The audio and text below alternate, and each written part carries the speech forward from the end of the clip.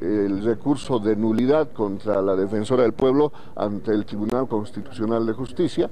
Ya, ya ha sido presentado oficialmente. Mañana estamos presentando el proceso penal ante el Ministerio Público y eh, entendemos que esta semana vamos a tener reunión con el ministro de Economía para congelar las cuentas de la Defensoría del Pueblo. No es por, por, malo, estamos, estaríamos incumpliendo deberes como Congreso al haber eh, puesto una defensora interina por 90 días y ya está más de un año. Eso no está bien, eso es un delito y la señora se está tomando atribuciones que no lamentablemente utilizando incluso la Defensoría del Pueblo para hacer política.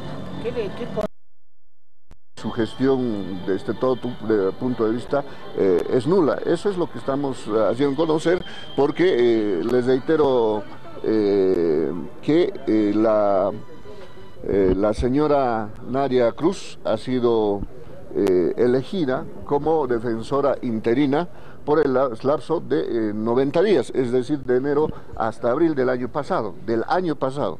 Con este abril ya cumplido un año, pero la señora ya no es interina, ya aquí en la Cámara nadie le ha ampliado su, su, mandato y les reitero, lamentablemente desde el momento que eh, politizó el trabajo que tenía que hacer un defensor del pueblo, eh, yo creo que ya, ya dejó de ser eh, algún tipo, ah, dejó de tener algún tipo de legitimidad.